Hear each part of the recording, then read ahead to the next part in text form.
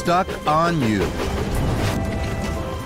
The engines on Sir Topham Hatt's railroad always look forward to special jobs. Then they puff their proudest, puff their hardest, and chuff cheerfully all day. One morning, Thomas was chuffing especially cheerfully. Good morning, Rosie. Sir Topham Hatt has a special for me. Lucky you, Thomas. Today, Thomas, you will be the Sodor Island Rescue Engine. Thomas puffed with pride. You will work with Butch. Butch is waiting for you at the steamworks. Then you must both go right away to the Sodor Search and Rescue Center and be ready for action. Thomas's boiler bubbled. Rosie was excited too. What does Butch do? He's the Sodor Search and Rescue Center breakdown truck. Fizzling fireboxes. I have to hurry now, Rosie. And Thomas steamed swiftly away. To the steamworks. Butch was there. Butch was bright, bold, and brave. He was happy to see Thomas. Hello, Thomas. Hello, Butch. What's that on your crane arm? It's a magnet, Thomas. Flatten my funnel. Metal things stick to magnets. That's exciting. Let's roll, Butch. Sir Topham Hatt wants us ready for action. Thomas pumped his pistons. Butch revved his engine. We must hurry. No delay. We're off to rescue right away. Hold your huffing, both of you. I have something important to say. Wait for the red light. Then you know the magnet is on. But Thomas was too excited to stop. Don't worry, Victor. I know all about magnets. And Thomas chuffed quickly away. Thomas passed Gordon. Then he passed James. Butch has a new magnet. We'll rescue all engines. We're ready for action. Thomas and Butch clattered into the Sodor Search and Rescue Center. I'm the Sodor rescue engine today. I'm helping Butch. You're gonna have a busy day, pals. Lots to do. We're ready for action. Emergency call just in. You must take those metal poles to Farmer McColl right away. His sheep shelter was blown down. He needs them to build a new one. Butch trundled and tracked to the metal poles. He lowered his magnet. Butch has a marvelous magnet. Rocky and Harold were amazed. Hovering helipads. Butch's magnet hovered over the poles. But Butch was worried. Did Victor say my red light should be on? Don't worry about the red light, Butch. You're ready for action. So, Butch nudged and budged the poles. They rolled this way and that. But his magnet didn't pick them up. Bother. Then there was trouble. Butch started to bash and crash his magnet too hard against the poles. With a crash and a splash and a sploosh and a whoosh, he knocked the poles right into the sea and next to Captain. Captain was surprised. Battle me broadside! Sorry, Captain. Sorry, Captain. Don't worry, Butch. We can pick up more poles from the yard. But before Thomas and Butch could race to the yard, Rocky had another rescue for them. Emergency call just in. Rosie's wheel is cracked. She needs another right away. Thomas's boiler bubbled. Butch's wheels whirred. Ready for action! Butch trundled to a big new wheel. Rocky and Harold watched Butch and waited. Butch was worried. What about the red light, Thomas? Don't worry about the red light, Butch. I know about magnets. You're ready for action. So Butch's marvelous magnet swung and swayed over the wheel, but it didn't pick the wheel up. Bother. Now Butch tried even harder with his magnet.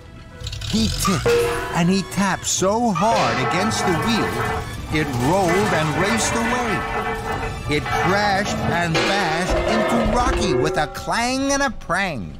Creaking cranes. Sorry, Rocky. Sorry, Rocky. There's something wrong with my magnet, Thomas. Thomas knew Butch was right. His wheels started to wobble with worry. Then, an idea flew into his funnel. I know, Butch. I'm metal. Let's see if your magnet sticks to me. Grand idea, Thomas. So, Butch drove carefully up to Thomas. Suddenly, the red light flicked on. Thomas didn't see the red light. Neither did Butch. But Butch's marvelous magnet was now working. With a bang and a clang, it stuck tight to Thomas. Lift it off now, Butch. Butch struggled and strained. Then he sighed. I can't lift my magnet from you. I don't know how to. Thomas's firebox fizzled. Neither do I. I am a very silly engine. I thought I knew all about magnets, so I didn't wait to listen to Victor. Now we can't be the Sodor Island rescue engines. Thomas wheeshed and whooshed. Butch revved and rattled. We must go back to Victor, Butch. He will tell us what to do, and this time, I'll listen. Thomas passed Gordon. Gordon grinned and grunted. Hmm. Then he passed James. James giggled and jiggled. I know I look silly, but Victor will help us. We'll work perfectly. At the steamworks, Victor couldn't help smiling. What do you look like, my friend? I told you, the red light must be on. Then you know the magnet is working. Thomas rattled his rods. Red light off, Butch. Red light off, Thomas. You see? Now you are free. Ready, for action. Hurry, my friends. Rescue engines coming through! Thomas and Butch passed Gordon. Rescue engines ready, for, action. Farmer McColl thought Butch's magnet was marvelous. Thank you, Butch. Thank you, Thomas. Rosie thought Butch's magnet was marvelous too. Hooray for Thomas! Hooray for Butch! At last, Thomas and Butch arrived at the rescue center. They beamed brightly. Red light on. Ready for action. and everyone whistled and whooped. Kevin the Steamie. On the island of Sodor, all the engines like to be busy. They huff and puff, heave and haul, and lift and lower to be really useful. One morning, the steamworks was very busy. Victor rushed and raced. Thomas and Percy had just been cleaned. They sparkled and shone like the sun. I have to pick up a new boiler for Spencer. Kevin, you will be in charge of the steamworks while I'm gone. Work well. Think hard. Yes, boss. Of course I will, boss. Kevin was excited. He rolled over to Thomas and Percy. Good luck, Kevin. You're the best. Thomas pumped his pistons to puff away. Then He biffed his buffers against a flatbed of oil drums. They bashed and crashed into Percy. Percy was surprised. Flatten my funnel! Then Percy giggled. Biff bash bosh, Thomas! Thomas chuffed and chuckled. Biff bash bosh, Percy! Kevin watched Thomas and Percy's new shunting game. It looked fun. Kevin liked fun. Can I play? Of course you can, Kevin! Biff bash bosh! Kevin giggled and jiggled. Biff bash bosh! Kevin bumped into the flatbed with a clang and a bang. The flatbed tipped off the track. The oil drums rocked and rolled to the ground. Kevin gasped. Heaving hooks! That wasn't supposed to happen. Don't worry, Kevin. But Kevin was worried. He wanted to play the shunting game like Thomas and Percy.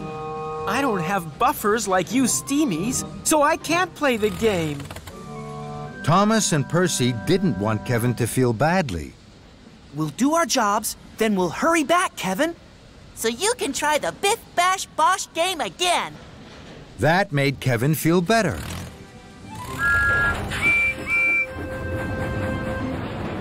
Then, an idea whirred in his wheels. I'll work my hardest to shunt like a steamie. Then I can play Biff Bash Bosh with Thomas and Percy. Just then, Emily wheezed into the steamworks. Kevin, my buffers need buffing. Of course, Emily. Right away, Emily. Kevin rolled towards Emily. An oil can was in his way. Kevin smiled. Practice makes perfect. Kevin biffed the oil drum. Biff Bash Bosh! It whizzed into Emily's wheels. Fizzling fireboxes. That oil drum has scratched my wheels. Kevin gasped. Sorry, Emily. Didn't mean to, Emily. Slip of the hook, Emily. Be right with you. Then Spencer steamed sternly into the steamworks. I'm here for my boiler. Kevin stuttered and stammered. Of course you are, Spencer. Uh, be right with you, Spencer. Kevin raced around the steamworks, but another oil drum was in his way. Kevin smiled. Practice makes perfect. Biff Bash Bosh! Kevin biffed the oil drum. It skidded into Spencer. Rattle my rods. That oil drum has banged under my buffers. Now I can't chuff. Kevin stammered and stuttered. Sorry, Spencer. Didn't mean to, Spencer. Slip of the hook, Spencer. Uh, be right with you. Kevin rattled toward Spencer, faster and faster, right into another oil drum. The drum rolled smooth and straight. Hooray! Bish Bash Bosh! Just like a steamie shunt.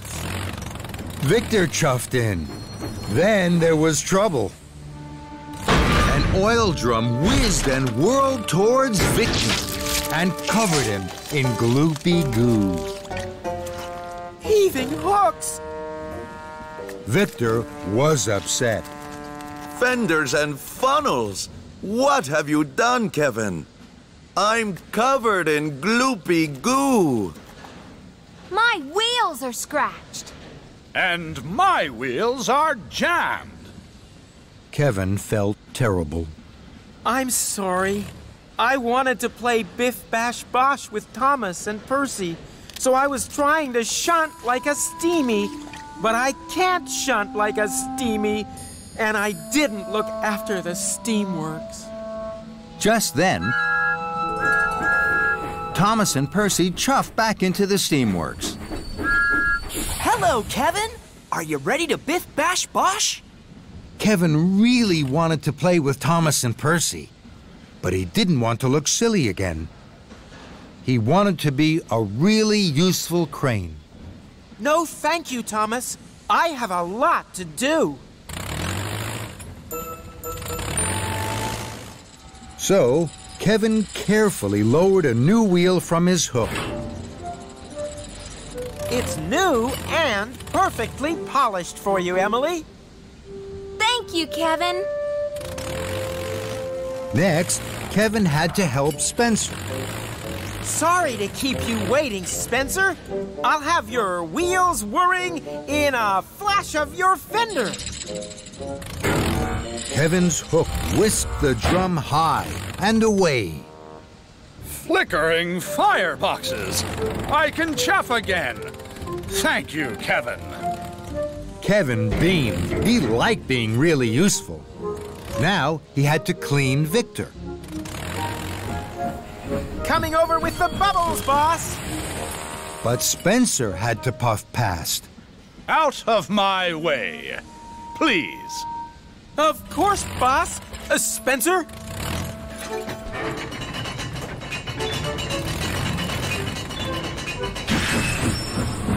Kevin trundled to Victor.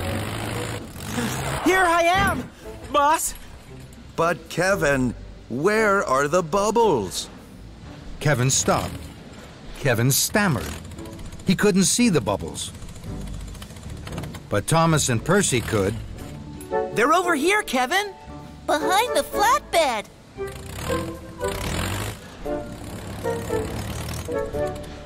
Hide and peep. That's a great game. Hiding things with your hook is the best game of all. That made Kevin very happy.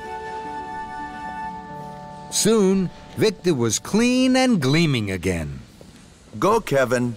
Now you are free to play your game. So Kevin hid with his hook. And Thomas and Percy hunted and huffed. No Steamie could ever hide as well as you can with your hook, Kevin. Kevin jiggled with joy. That's what's good about being a crane. And everyone cheered to that.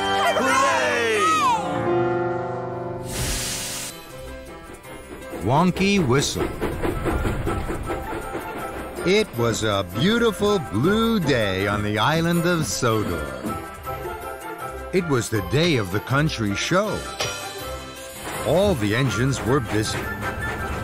Hooting and tooting, pushing and pulling to make sure everything was ready on time. Thomas was at the steamworks. His whistle had broken. He had to have a new one. Please hurry, Victor. I want to be puffing perfectly for the country show. All in good time, my friend.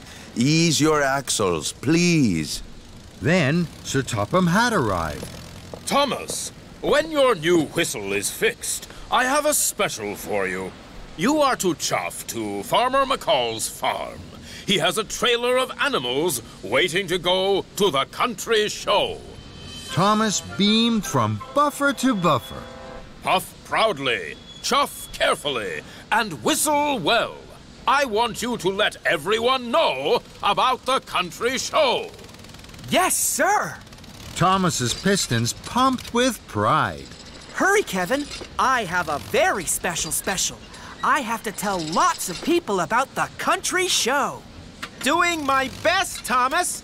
Tricky things, new whistles. Hold your huffing, my friend. Kevin is right. Wonky whistles make strange sounds. We must fit the whistle carefully. You must wait. Workmen, fit the whistle. The whistle is clearly wonky.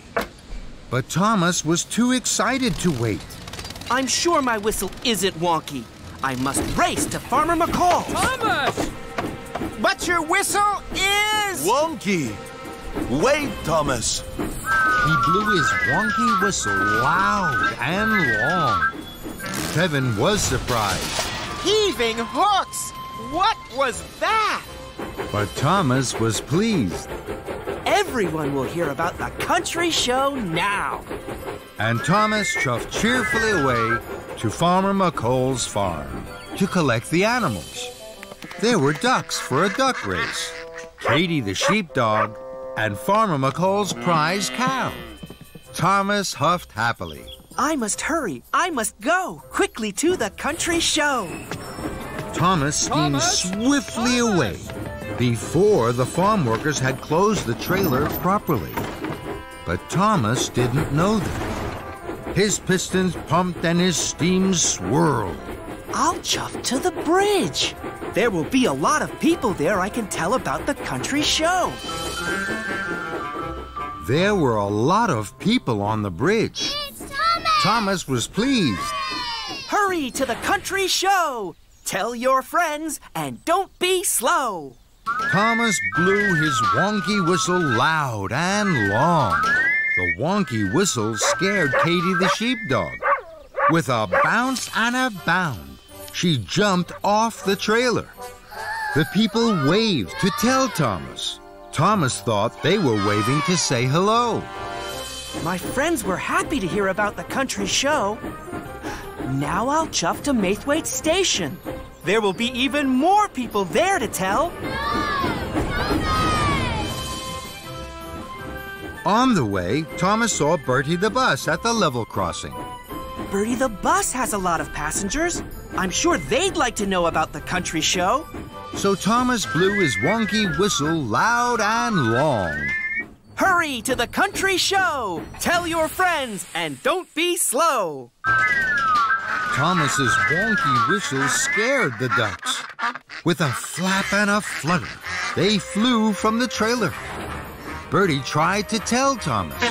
Thomas! Thomas! Thomas thought Bertie was hooting to say hello. Bertie was happy to hear about the country show. I must hurry to Maithwaite Station. I know there'll be even more people there to tell.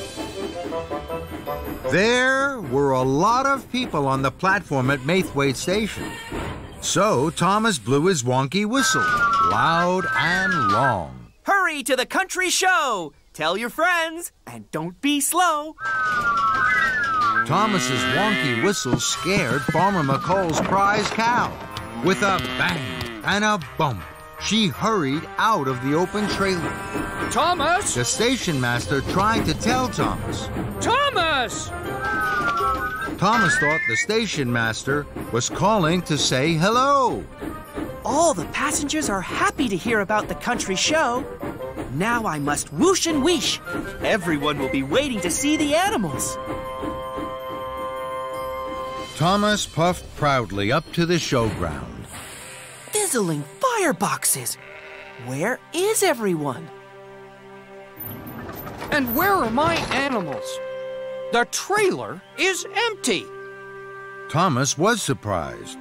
Then his wheels wobbled with worry. Sir Topham Hatt wanted me to tell everyone about the country show. He wanted everyone to come. But no one has come, and I have lost all the animals. Sir Topham Hatt will be cross. Thomas wheezed his wonky whistle loud and long. Thomas! Thomas saw Farmer McColl shout and wave. Thomas! Thomas! Cinders and ashes. My wonky whistle has scared the sheep. It must have scared the other animals too. Everyone was waving to tell me that. I am a very silly engine. I should have waited to have my whistle fixed. Now, I must race like the wind to the steamworks. At the steamworks, Thomas waited for his wonky whistle to be fixed.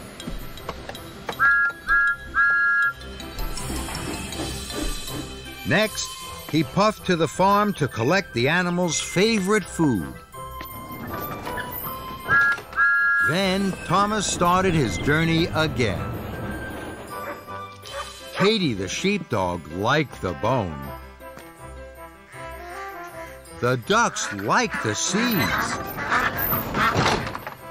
Farmer McColl's prize cow liked the hay. At last, all the animals were safely delivered to the country show.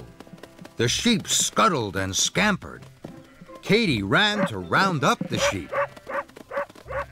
Now I must tell everyone about the country show. Thomas puffed and chuffed round the island. To the country show. Tell your friends don't be slow. Everyone was happy to hear about the show. And happy to hear Thomas's wonderful whistle. Thomas chuffed back to the showground. His wonderful whistle had worked well. There were lots of people at the country show. Sir Topham Hatt was pleased. You have been a really useful engine. Now I have one more job for you. Yes, sir. I would like you to blow your new whistle to open the country show. Thomas's boiler bubbled. Right away, sir. Thomas blew his wonderful whistle loud and long. The country show was open, and everyone cheered. Even Katie wagged her tail.